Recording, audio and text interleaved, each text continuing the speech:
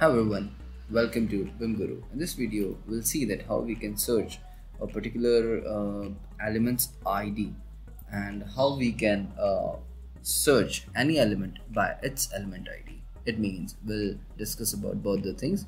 If I'll select any element, how I can get the element ID of that one in Revit and if I have the element ID of any particular element, how I can search that element by the ID so we'll discuss about both the points in this video. So let's start right now. Right now i'm in a plan of HVAC and i wanted to select i wanted to search the element id of this particular duct okay? So for that one what we can do is we'll simply click on that particular duct. We'll go and manage tab. Sorry manage tab right there.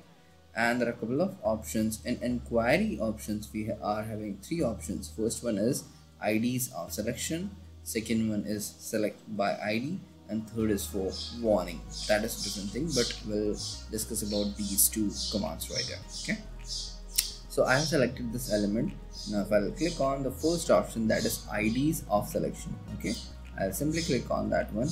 Now this is the id uh, this is the id of this particular element. So if i'll so copy this one as of now because uh, the second thing is how we can search any element by its element id so how uh, we can search that one simply we can go in inquiry tab right now click on the second option select by id right now i did not select anything on the screen okay?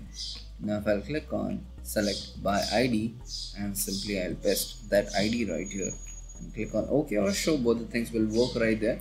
Right now i will click on ok. Now it will highlight the same duct that are selected okay?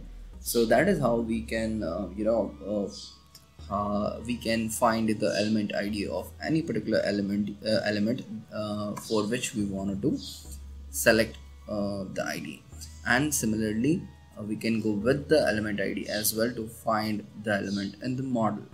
So that's all about this video guys. Thanks a lot for watching this one. Let's meet in my next video